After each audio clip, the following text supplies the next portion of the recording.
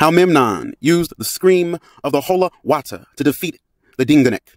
During the night of celebration, as Memnon lay under a Tete seductive spell, victorious soldiers and citizens, elated with the hard-fought pacts, talked and drank for hours. In one raucous tavern, one soldier told grand tales of Memnon and how he used the scream of the Holawata to defeat the Dingonek. The fabulistic soldier said, We were.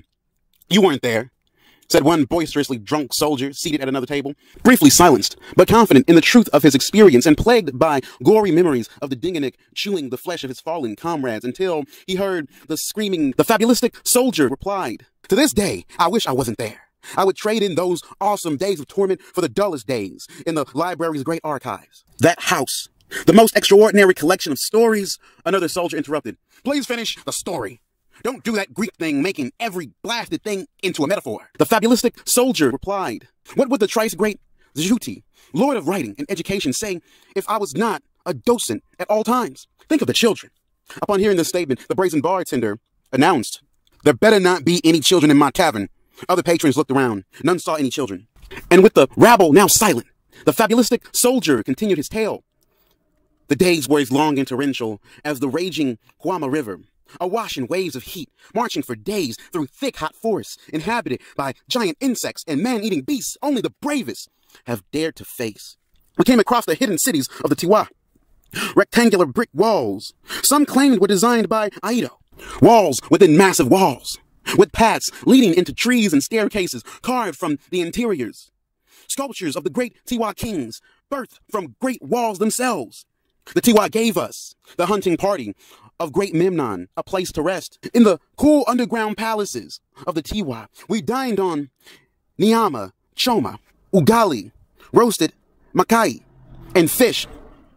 The women were as lovely as blooming orchids growing wild in the woods. Sadly, we had to leave the forest cities of the Tiwa for the great towers of the Urewe, great towers housing the mighty forges and bellows of the Urewe towers and temples, and great halls decorated in ornate bronze and gold tapestries. The city was more massive than the Xi'an, Babylon, Nagara, Alata, or Anshan. But a third of the city was closed.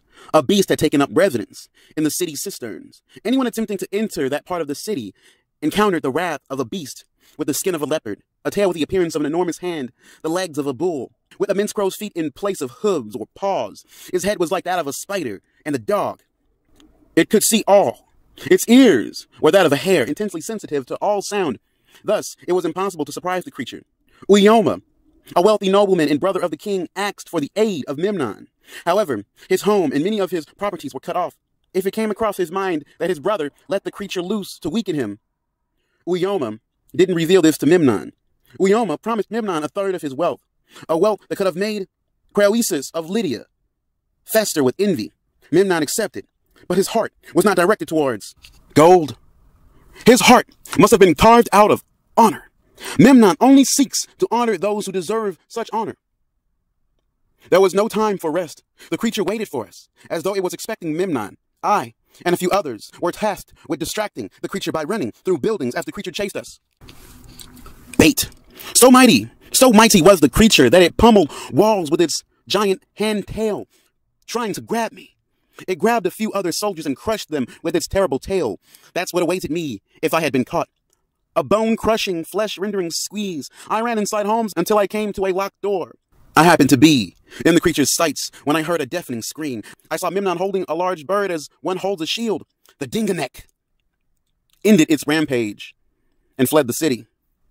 While other soldiers and I were distracting the Dingonek, Memnon went to find the Holawata, the gods gave this bird the secret of immortality to give to humans. All we would have needed to do was shed our skin. Instead, the hungry bird traded the secret to the snake for food, and as punishment, the gods cursed the bird with continuous experiences of excruciating pain. The bird was close by, but Memnon didn't have time to tell us his plan. Out of nowhere, the Dingonek came back and knocked the bird out of Memnon's hand. The Holawata flew away, screaming. I narrowly escaped the beast as it was charging, charging through the wall next to me. Memnon was flung through two homes and into the city wall. Before Memnon could fully rise, the beast used its hand to slap Memnon into another house. As the creature charged towards the rubble, Memnon leaped forth. Memnon, a raging lion, punched the beast once in its head, causing all of its eyes to fly out. At first, Memnon only wanted to scare off the creature. But that plan didn't work. So mighty Memnon had to fight the beast and kill it with his fist. Our journey back was made easier by all of the aid Uyoma gave us. His aides helped us carry all of the treasure back to our lands. This was, of course, after the great feast.